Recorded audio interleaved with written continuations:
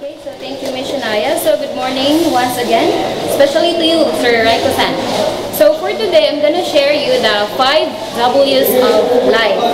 So first, we have here, um, who you are is what makes you special. Do not change for anyone.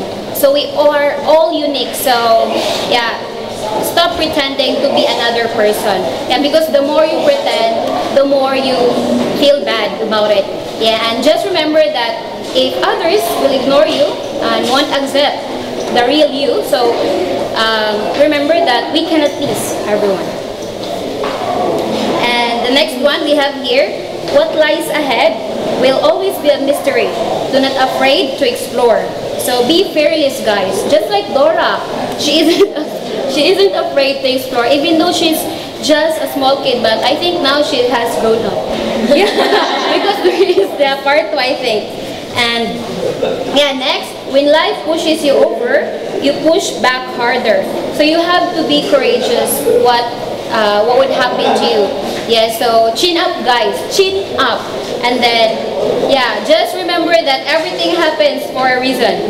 And then next, where there are choices to make, make the one you won't regret. So I know making choices, it's like um, dilemma. Yeah, because it isn't easy, right? Yes, and uh, you have to be mindful because whatever choice you make, um, there is uh, consequences for it. It could be good and it could be bad. And you're lucky if you'll get the good consequence. And yeah, I'm nervous. and last is why things happen will never be certain.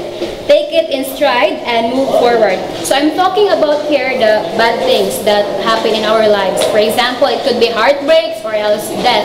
Yeah, so we cannot change uh, what happened. So let's try to um, not to dwell what happened in the past because we cannot change uh, the thing that already happened. Yeah, so move on guys. Yes, okay? Yeah, forget about yesterday and think about today or else tomorrow.